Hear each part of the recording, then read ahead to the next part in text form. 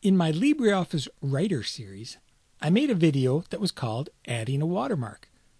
That watermark was just a custom PNG file. In this video, we're going to look at how to create a custom watermark PNG file or a custom JPEG PNG file. I want my watermark to say top secret, so I'm going to come down to the text icon and add that to the screen, put in my text. It's a little small, First thing I want to do is change the font type. And I'm going to choose stencil. Coming over to the font size, this only goes up to 96. I want to make this a little bigger, so I'm going to type in 125. Now I need to resize my object here to hold the text going to click on it a second time to put us into rotation mode and angle that up. That's almost too much. Let me bring that back a little bit. That looks a little better. Now we need to make this a watermark. Before we can do that, I'm going to go into Modify, Convert, and convert this to a bitmap. Now that it's the bitmap, we can use our graphics tools and change this to a watermark. Even though this is a bitmap, we can still select it, move it around, make it bigger, smaller. Maybe I want to bring in this edge a little bit. I'll bring it in and move it onto the slide a little better. Once I have this as I like it, I'm going to save this as a LibreOffice draw file. So I'm coming up into File, save. Well, I'll do a save as so we can see. I'm saving this to my desktop as 48 top secret.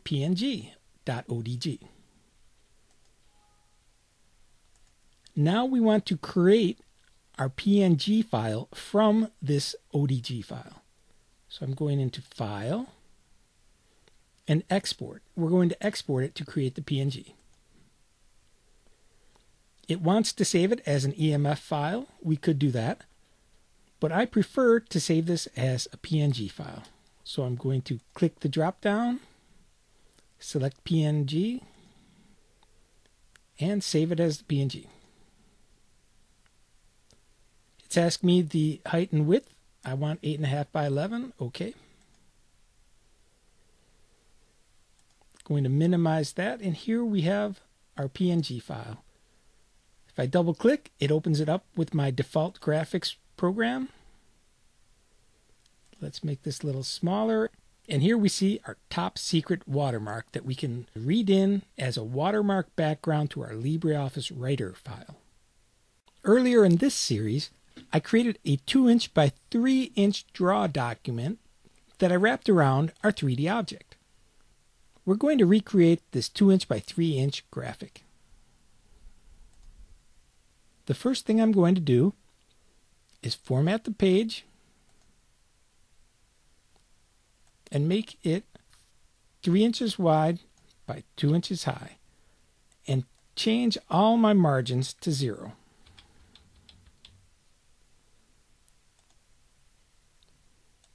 I'm also going to turn on my display grid and snap to grid. Now I'm going to create those lines.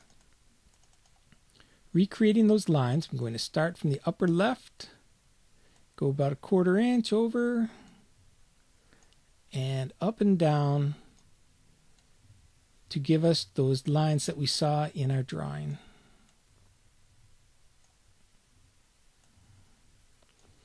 Almost done. I've got a couple more to create. And the snap to grid really helps to line things up quickly.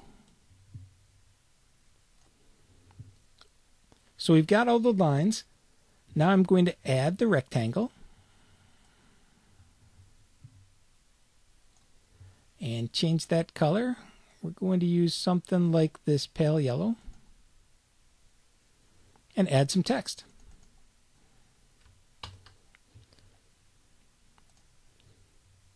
And that's pretty much our graphic. Let's save this first as the ODG file. And now as our PNG. We need to export this. We're not actually saving this as a PNG as we're creating a PNG from our LibreOffice Draw document. So I'm going to export. And again, the default is EMF. And I want to make this a PNG. It's asking me two inches by three inches. That's what I want.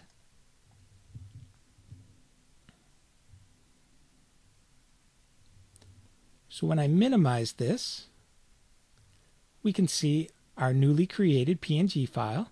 I'm going to double click and open it in Paint. We see that it's 2 inches by 3 inches, but if I zoom in a little bit, we'll notice that the far right line got cut off. So I need to make another bitmap line there. To do that, I'm going to close that. What I'm going to do to make that line show up is click on our line, double the line width, and also bring it to the front. If I didn't bring it to the front, the box was in front of that line, so we would not see this line where the box is. So we'd have a little bit at the top and a little bit at the bottom. Let's export this again. Well, we'll save it first as our LibreOffice Draw file. Now we're going to export the content to a PNG file.